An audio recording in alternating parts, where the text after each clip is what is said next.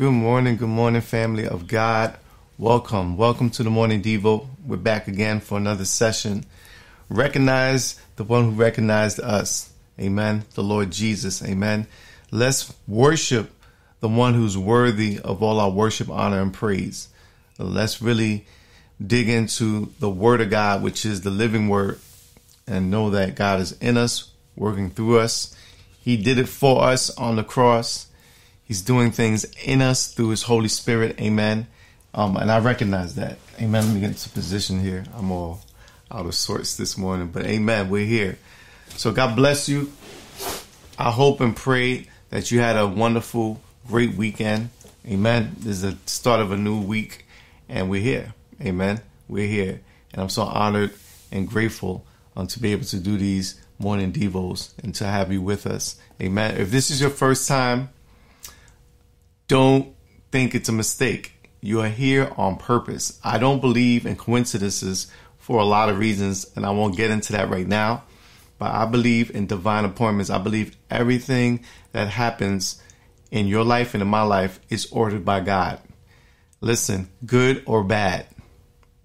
And people were like, but if you're a Christian, all good things always supposed to happen? Um, if you're a Christian, you know the answer to that. And the answer is no not because of God. It's because of we of living in a fallen, broken world. We go through things. Amen. Last time I checked, when it's daytime and a new day starts, amen. We give God praise and honor, and we are glad that God created us a new day, right? When other people wake up that don't have God in their lives, don't believe in Jesus Christ, guess what? For them, it's a new day. Whether or not they're glad about it or not is up to them, right? Just like it's my choice to be glad and rejoice in the new day that God's made. So, according to how I'm thinking, amen, we all have a new day. We could discover the things of God for this new day, or we could just continue to, you know, discuss things that are from like 20, 30 years ago, right? And live that way as well. So, today I want to talk about all who believe. And for now, we, we can't really discuss all who don't believe. Let's talk about all who believe on this morning Devo this morning. Amen. We all we go we're all going through things, but all who believe, um, God has a special word for all the believers right now this morning. Good morning, Jose and Marixa Lebron. God bless you. Good morning. Welcome to the morning Devo. It's good to have you. Amen. So listen, all who believe, we're going to be in John chapter 1, verses 12 and 13. To some, this might be a very simple message. To me, the gospel is simple, but it's complex at the same time. It's simple, but it's so powerful. The message of the gospel, Jesus, what he did, what he's doing, what he's coming coming back to do, amen. Um, although we can see it in the scripture and it seems simple, but it's so powerful, man. Sometimes you don't have to have an extravaganza or you don't have to have uh, spectacular events to happen to know that God is real in your life and in my life. But when He does show up in a spectacular way, when He does show up in your life and in my life, you know He's there and you know who He is. And it's not like random gods working in your life and working in my life. is the God of the scriptures. People ask me, how do you know that the God of the scriptures is the true living God, the God of the Bible? I said, I don't know. Amen. But the word of God says so. I know what the word says. Amen. And I don't even know all what the word says. But the little that I do know, amen, God revealed himself in the form of a man, a man named Jesus. And according to the scriptures, amen, and according to what Jesus says, and according to what the Apostle John wrote, right? It says all who believe um, get a special blessing. Gonna, I don't want to spoil it. We're going to be in John chapter 1, verses 12 and 13. If you have any questions, comments, concerns, or any prayer requests, don't hesitate to leave it here on this social media platform. from where you're listening or where you're watching. And also you could go to live.soulwinners Guess what? Soulwinnerswithaz.org is down for now. Amen. Because we're in the countdown 10 days before the relaunch of the new website. So I had to say goodbye to my, I feel bad. Like people, you know, like, it's only a website. No, I had that website for years and it's down right now. So I feel like I'm missing something in my life. Is that is that serious in my life? But it's going to be up, Lord willing, ten days, less than ten days now, and you know, let's do it. The relaunch June 21st from the time of this recording, 2023, June 21st, the first day of summer. From the time of this recording, we're relaunching the Celebrator Network, soulwinnerswithaz.org. But for now, it's down. So uh, I had to make that decision because, you know, new things, right? Trusting God, having faith, and moving forward, and know that all who believe are going to be getting a special blessing. Amen. Uh, I'm just moving by faith and knowing that God got me. Amen. And God has you too. He could do wonderful, powerful things in your life. All you have to do, believe it or not, is have faith and trust in Him. Not have faith and trust in faith, not have faith and trust in a guru, not have faith and trust in, you know, a leprechaun. We're talking about the Almighty, all loving, all powerful, all forgiving, all merciful, all graceful, right? All truthful, right? Um, omnipresent, you know, Jehovah Shammah, the God who is there in your situation, the God who is here in my situation. We're talking about that God of the scriptures. He got you. Amen. He got me too. So live that soulwinners with a Z.org has always been um, a place where I want you to go anyway to experience the full uh, morning devo because it has a Bible, has its own live chat, you know. But I know for convenience, people just catch me on social media. Brother Frank, God bless you. God bless you. Good morning. Brother Sam, I do believe in a good morning blessing. So start the day off with again, hallelujah. Amen. Yes. Uh, starting your day off with the Lord, amen, just sets the tone for your day. It sets your soul, right? Your life and the direction you want to go and the direction I want to go. And imagine all of who believe, all who believe going in the same direction, knowing that God has us in the palm of his hands and moves us forward together. Together is always better. So thank you for coming through. Thank you for your comment. Sister Joanne, good morning. God bless you. Welcome to the Morning Devo. It's good to see you. So let's get into it. We're going to pray first. After we pray, we'll share this out to as many people as possible. Share the link live. That's soulwinnerswithaz.org for those people that you know that are not on social media like that. And they'll find our YouTube page and all that stuff right there at live.soulwinnerswithaz.org, live streaming. Amen. And let's do it. We're 10 days away from this. Let me just put it on the screen. Amen. 10 days. Uh, 10 days away from the relaunch of the new radio network. So I'm, I'm excited, man. I'm I'm excited about that. So let's go for it. Amen. We'll pray. After we pray, like I said, we'll share this out. If you have any questions, comments, concerns, or any prayer requests anytime during live, and even if I'm not live, by the time you see this and watch this, and you have something on your heart, just share it on the live chat. Also, if you don't want stuff to be public and you don't want to share it live on a public platform, whether you're listening on a podcast or you're watching on the video. Amen. You can always go to live.soulwinnerswithaz.org. Sign up. It's a one and done deal. It takes less than 40 seconds. A picture, your name, and your best email, and I'll get back to you from there as well.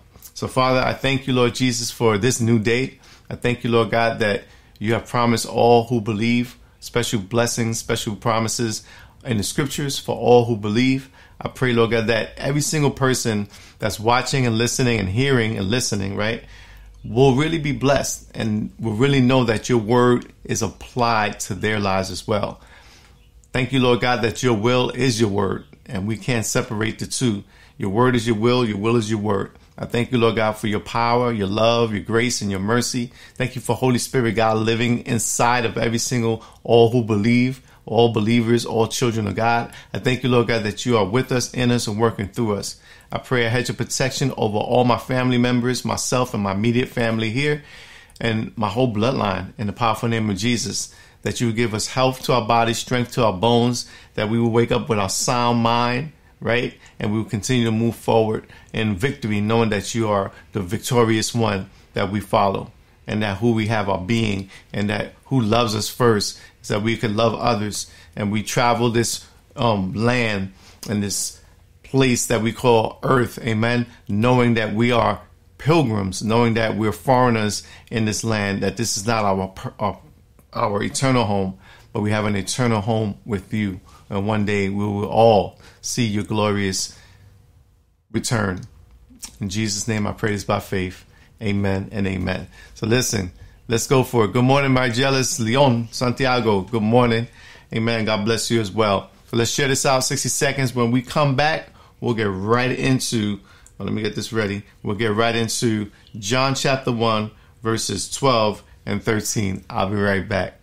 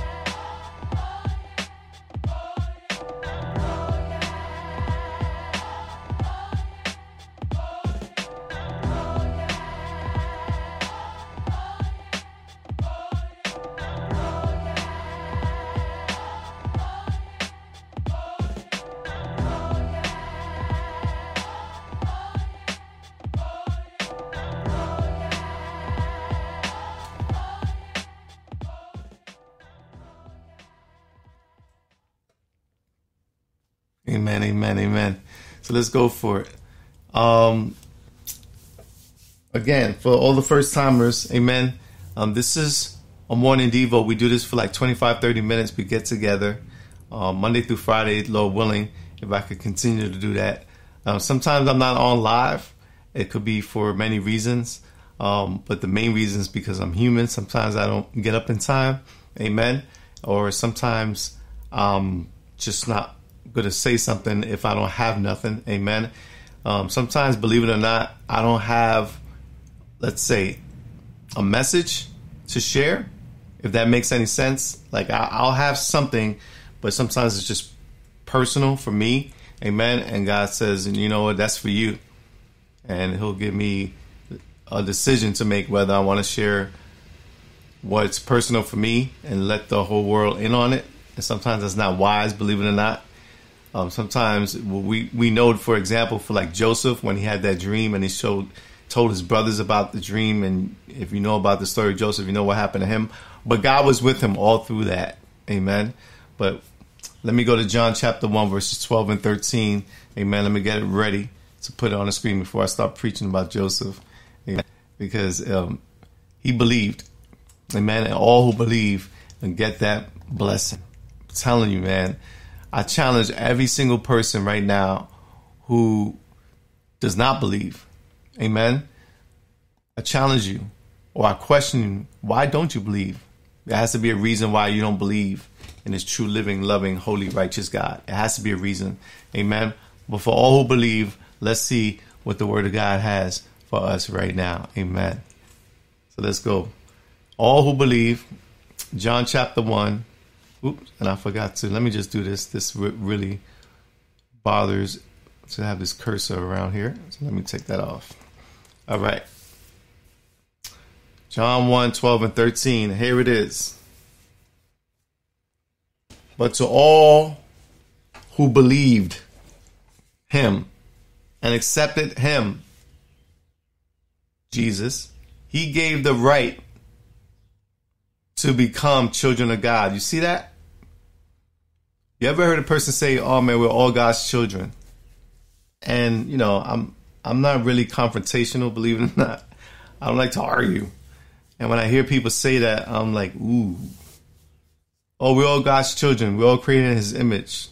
I'm like, okay, um, and you know, I just think about what I'm gonna how I'm gonna respond. I don't know if they're asking me if that's true or they're telling me that's true. Um, nine out of ten times people tell me that's true. What's the difference between you Christians and, and me?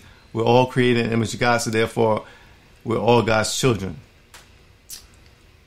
But to all who believed him, see that?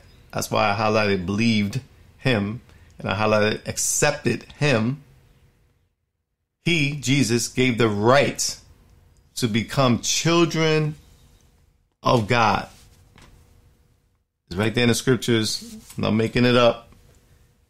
Verse 13 They are reborn not with a physical birth resulting from human passion or plan, but a birth that comes from who? From God. So the only way all who believe receive this type of blessing and this revelation is when you believe and accept. Now, the question is, how do you view God? Amen. We all see God through the scriptures, but the viewpoint might be a little different. My viewpoint of salvation in Jesus, right, and church is a little different than a person who grew up all their lives in a church, right? Um, my background is different than your background, right? Not all of us have exactly the same situation. We definitely don't have the same parents.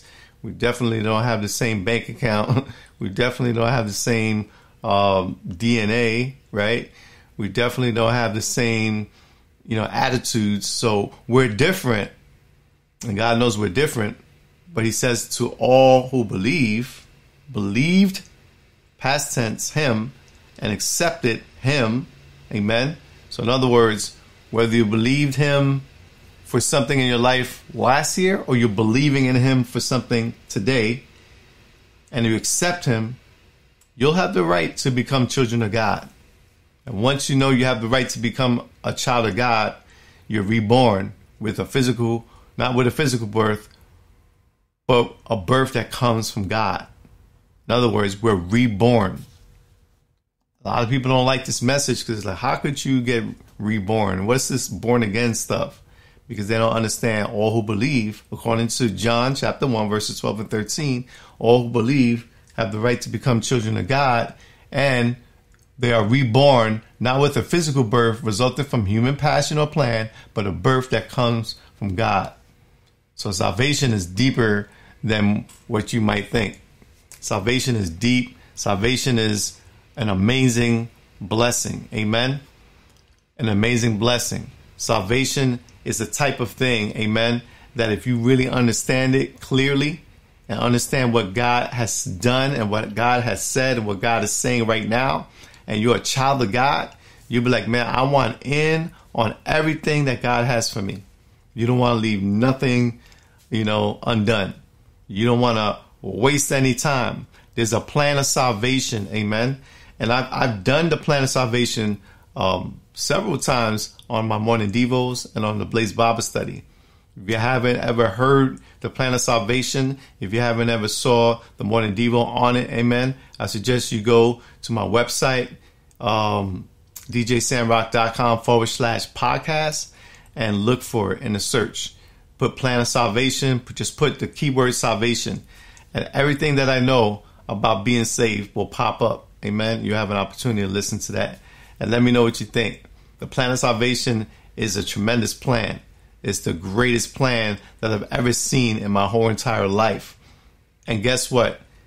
All who believe get in on that plan. Why? Because we inherit, we become, we become children of the living God. That's an amazing thing. I don't know about you, but me knowing that I'm a child of God, not just because I'm created in his image, but because Jesus gives me the right to become a child of God, a son of God, uh, you know, a man of God. That right there is powerful. And nobody's going to take that away from me. Nobody can take it away from you either. If you're born again, live that way. Amen. Know that you're a new creation. You're not an old creation. You're a new creation in Christ. How do you view God? That's the first question. Do you view him as someone in the sky who's ready to beat you down every time you make a sin or a single mistake?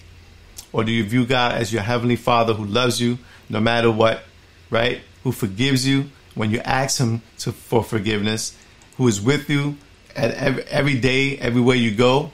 Some people view God as somebody who just, you know, created the whole world and left, created everything that we see, everything that we don't see, and left.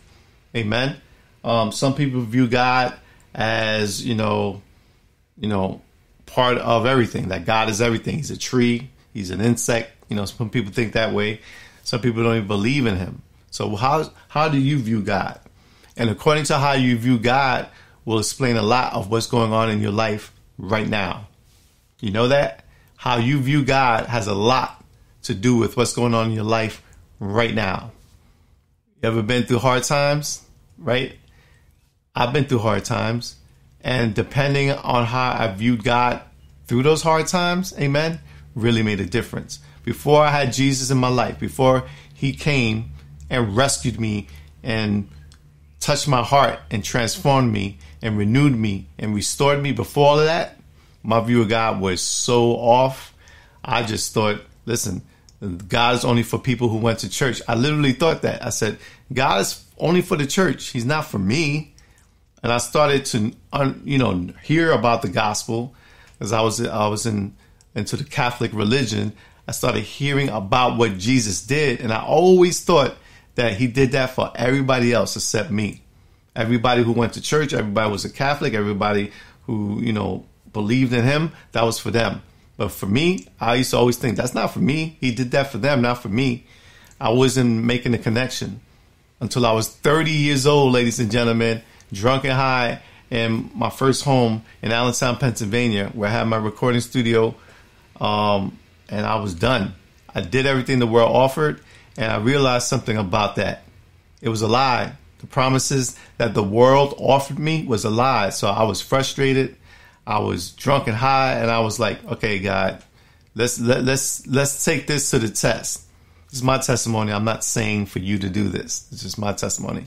And I told God to change me ASAP. If He didn't change me by the time I woke up the next day, from the time that I was thought I was just speaking to the ceiling, I'm gonna keep it moving. There is no God. So my view on God was someone who wasn't there. Amen. But guess what? The next day, he answered my cry and my prayer, and he changed, he touched me, changed my life for good. That's my testimony. People already heard that a hundred times, but I'll say it a hundred more times because it's the true testimony of my life of how God met me where I was and he's taken me to where he is. So for all who believe, when he touches your heart, you believed in him, you accepted him. Amen. Salvation is believing and accepting. My second question would be Is salvation based on just believing? Or I just believe that. Is that is that all you need for salvation to be evident in your life? Just believing? Or is it believing and accepting? Amen. Or how about this? Is salvation just having faith? Or is having faith and activating your faith in Him? Amen. We could take one step deeper into this plan of salvation. We could take one step deeper and knowing that all who believe are children of God, and you start taking more steps deeper and deeper because it's so good. God is so good. His plan is so good. His, his mercy is so good. Amen. His justice is real. His mercy is real. His plan is the best plan ever. Sister Joanne says, God is there for everyone, but you need to change yourself. Well, He's there for everybody. Amen. Um, and I believe what you're saying, change yourself. It means allow God to change you. Because listen, um, thank you so much, Joanne, for your comment. Amen. And I'm not, I'm not, I'm just discussing this with you. People thought when I was sharing my testimony, uh, there's in my old job, I used to work for this company. Um, there was these guys, you know, most most of management in that job space were college grads or they were in college, so they were the smart people, so called, right? So I had shared my testimony with one of the managers, and they said every time I would say a sentence, they would try to cut me off and complete what I'm going to say, as if to, if he's basically saying, oh, "I heard this before." Now you're going to say this, and now you're going to say you was at your lowest part, and when you was at your so he thought I was repeating a script or something, or that he heard it so many times, yet he did not believe it. So I noticed that. I said, why you keep on cutting me off? I'm sharing my testimony. Oh, because I heard this before. Now you're going to say that you was at your lowest point and that um, at your lowest point, then you called out to God, this, that, and the third. I said, okay, that's what happened in my life. He said, yeah, because basically you could have changed yourself. All you did, you were already a good guy, Sam. All you, all you did was enhance your goodness. And so you called on this imaginary created God, and now you're giving God the credit for your transformation when all along you were good. People think that way. So I told them, and I started telling people from that day on, because I didn't know people thought that way until one of my managers made me realize that because if one person believes that, that means a lot more people do, right? Believe the same thing. So I said, okay, if I could have changed myself to better my life, why wouldn't I have? If I could have changed my life on my own without Jesus changing my life, why didn't it? Why didn't I do it? there was silence, and then he just walked away. He says, "Well, there's," he says, "Good luck in your life." Then it's okay. Listen, if I had known, if I had some internal being power already in me before Jesus, Amen. Before I had His Spirit in me, I would have, I would have went for it. Why not? Why why wouldn't anybody want to do a, a good thing in their own in their own lives? I know people have good days and they don't have God. I know that, but that's because of the grace of God. You ever met somebody who's a flat out atheist or doesn't believe, maybe agnostic who believes there's something out there, but just they don't think they can know who that someone is or something is? Um, and they have great days money's good, family's good. Praise God, right? The health is good. Um, sometimes they even have good, good, good attitude. Seems like they have a good spirit. I met tons of people like that. But then when you have the conversation, hey, you know, you, I do it like this. When I see a person that has great spirit, man, and the attitude is really cool, and they're a pleasure to be around, right? Um, I said, man, um, man, where, how do you how do you you know remain so happy and so enthusiastic and so encouraging? And it'll come out whether or not they believe in Jesus or not. They'll probably say, "Oh yeah, um, you know, I read a self help book, and you know, or uh, I meditate, or um, you know, I, I practice Zen, or you know, whatever, you know, and whatever the case may be." You'll find out right away that they're getting their source of energy is from something outside of them. Not a lot of people will say, well, this is coming from inside of me, so uh, it's coming out of me, whatever that it is. Amen? And then when you meet a Christian, a lot of times, at least in my experience, when they have that attitude, they'll tell you about some horrible times in their life that God has got them out of. So they have no choice other than to be happy and rejoice at the day they're living that day. They came out of some horrible situations and they know it was God that got them out of it or that God protected. Right? I'm, I'm that way. I know it was God that protected me and guided me and got me to where I am now. Amen. So we have, we show that through our lives. But people who don't have God, who don't believe, they're not included in all who believe the promises. They're not a child of God. They can have good days and it could seem like they're living the best life. Amen. But what happens if any part of their life changes? How about the bank account or starts running out? How about their relationships start going, you know, buck wild? How about their health um, declines? Are they still going to be the same encouraging person or, or the most, you know, is that going to be a good day for them?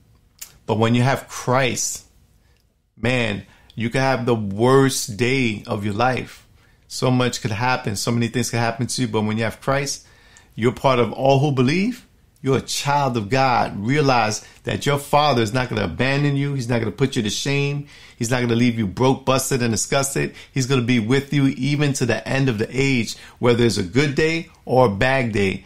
All who believe have the right to become a child of God. Not through natural things, but through supernatural things. Not through, not through natural childbearing or childbirth. No, we're reborn in Christ. Amen. And when you're in Christ, you have the sauce. You have everything you need to live this life out in godliness and in holiness and righteousness and empower by, empowered by Holy Spirit God. All who believed received this promise. John chapter 1, 12 and 13, that's where we're camping out, but I suggest you read John chapter 1, the whole chapter, and make that make that your your day, your declaration, and make that your confidence, make that your understanding of who you are. Who's our daddy? Who's our father in heaven? Amen. Who's our guide? Who's our protector? Who's our comforter? Who is our counselor? Who's the Almighty? Amen. Who's the Prince of Peace? Jesus, God, the Father, God the Son, God the Holy Spirit. Three and one. Don't ask me to explain um, that equation. Amen. That's a God equation. Three persons. So I hear it. I heard it like this explained. It's three what's no, three who's and one what. Father, Son, and Holy Spirit is the who's and what is those three? God. Sorry to explain. It's to me that's simple the way I think. Amen. But I know it's complex. The Trinity. Um, that you don't even see the word Trinity in the scriptures, but you see the Father, you see the Son, you see Holy Spirit, God. And if you believe in first mentions, this is a quick, you know, something for, to think about if you believe in first mentions. In other words, when the Bible mentions something first, I think I think that's in order. So if you look at the Old Covenant, the Old Testament, real quick, I'm, I'm out of time. Um, if you look at the mentions, you see Yahweh, Elohim, God, right? And then you see Ruach Elohim, which is the Spirit of God, Holy Spirit. And then later on, you'll learn about the Son. Um, so that's something for you to think about. But we have it. We have everything we need to live this life out. Amen. Um, David Huber, good morning. God bless you. Good morning. So listen, I'm out of time. Thank you so much for everybody that came to hang out with me. Hopefully you could replay this. Hopefully you go to John chapter 1 and read the whole thing, but we camped out on verses 12 and 13. I'm out of here. Pray. These are the 10 days, less than 10 days before we relaunch our website. I'm doing some testing. Um, things are still really not to where it's supposed to be. So I'll be testing and testing and testing. And low willing, when we relaunch Soul Winners with Z.org, the Accelerator Network, it'll be a place where you could go to every day and find encouragement and find the word, find the morning Devo, find Bible studies, listen to some good music for your soul. Amen. And let's do this together. Keep me in prayer. I'll keep you in prayer. We are still short of our goal of what we need to completely launch this thing. Amen. I'm gonna launch it by faith, regardless whether the money's there or not, the finances are there or not. If you find it in your heart and you are blessed to be a blessing, djsamrock.com forward slash donate. Amen. Every single dime, every single penny is going to go to the efforts to expand um, the ministry by way of the gospel and spreading it out to as many people as I can, as we can together, um, the people who don't have never heard this message, believe it or not. Amen. Um, David, sorry I was late. God bless. You're never too late, brother. Amen. You could watch this on the replay as soon as I um, get off. So God bless you all. God keep you all. And remember this. Remember this. God is good. Peace. Have a great day.